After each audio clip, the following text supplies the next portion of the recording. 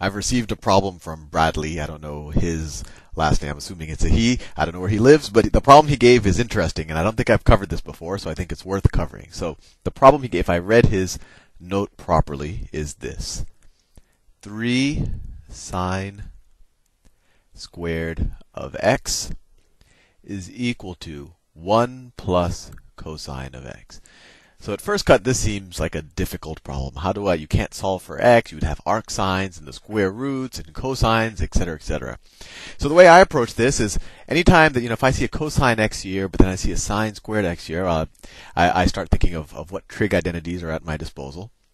And what trig identities involve a sine squared x? Well, the most basic trig identity, and this comes out of the unit circle definition of trig functions, is that sine squared x plus cosine squared x is equal to 1. And that comes out of the fact that the equation of a circle is x squared plus y squared is equal to the radius squared, but if it's a unit circle, is equal to 1 squared.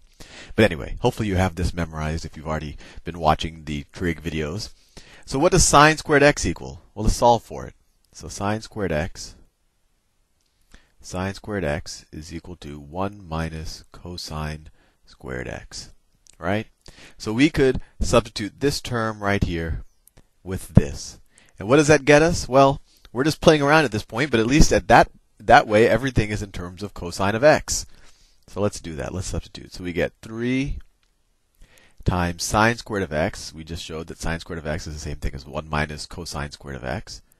1 minus cosine squared of x is equal to 1 plus cosine of x.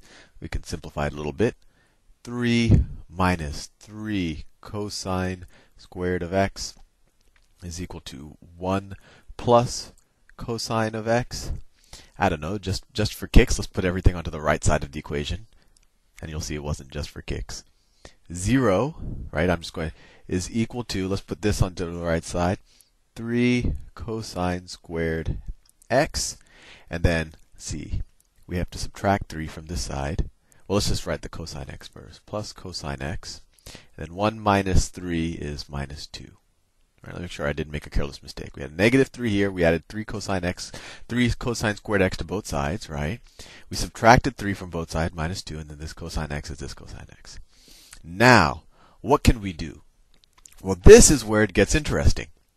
Because this looks an awful lot like a quadratic equation, except for the fact that instead of having, you know, a you know a uh, ax squared plus bx plus c, we have a cosine squared x. So we, instead of just having an x squared, we have a whole cosine of x squared.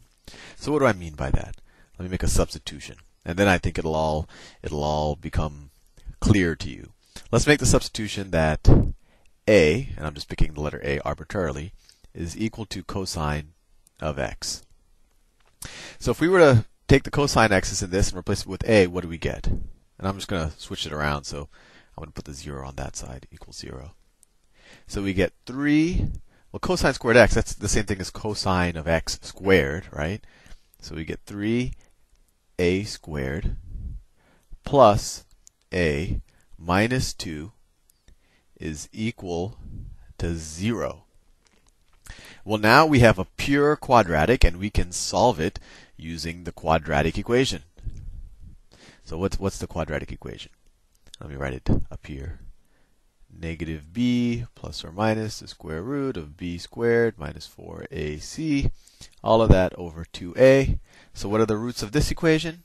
Well, what's minus, and remember this a is different than, than this a. Maybe I shouldn't have used an a as a letter. But these a, b, and c in the quadratic equations represent the coefficients. So this is a, b is 1, and c is this minus 2. So what are the roots of this? So the a's that solve this, a can equal, and I know I confused you. I could, let me actually, let me write it different. Let's make this, uh, instead of a is equal to cosine x, let me say that, I don't know, let me pick a good letter that's not involved in the, let me say D.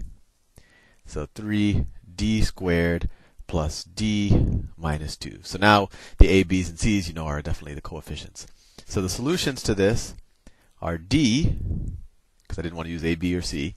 D is equal to minus B, well, B is 1, minus 1, And if this is completely foreign to you, you should review the videos on the quadratic equation.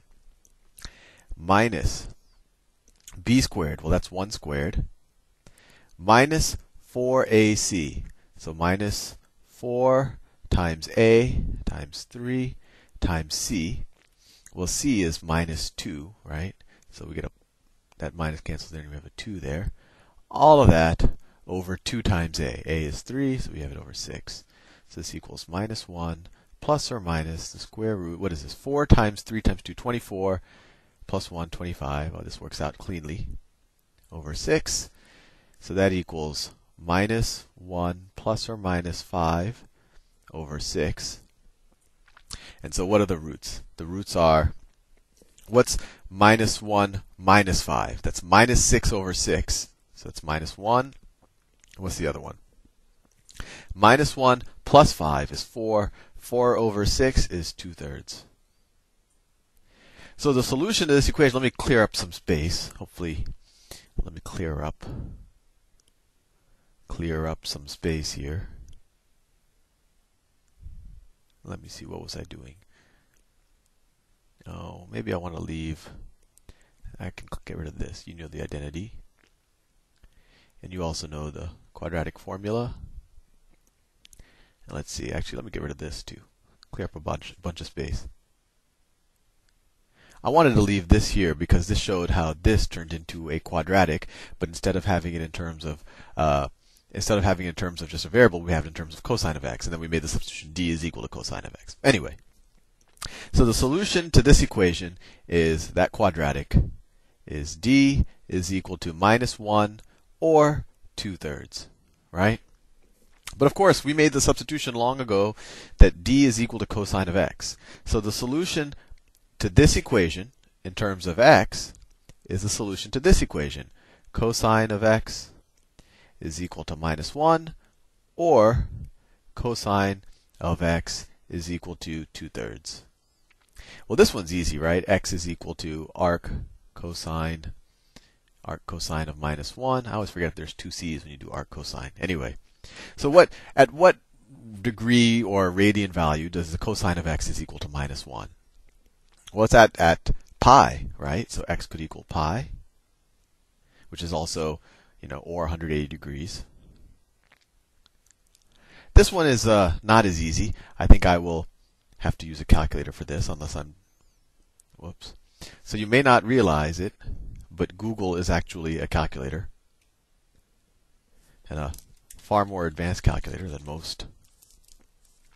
So we could use Google to figure out the arc cosine of 2 thirds. Let's do that arc cosine, I don't know if I'm spelling it right, of 2 over 3. Google tells us Google tells us that it's 0.841 and a bunch of numbers. So x is equal to arc cosine of 2 over 3. So x is equal to 0.84106. Let's see if they work. Let's well, you know, just just for fun, let's just see let's just see if this one works. Let's see if we, when we substitute pi into this equation, we get the correct answer. Well, what's sine of pi? Let me let me erase all of this just so we can check it. I'm only going to check pi, the two, the 0.84, and I don't know, that's messy, but you can do that in your own time. So let's check pi. x equals no, that's not what I wanted to do.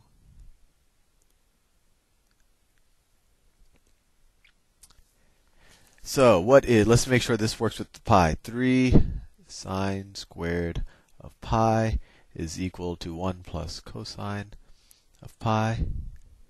Well, what's sine of pi? This is equal to 3 sine of pi, pi squared is equal to 1 plus cosine of pi.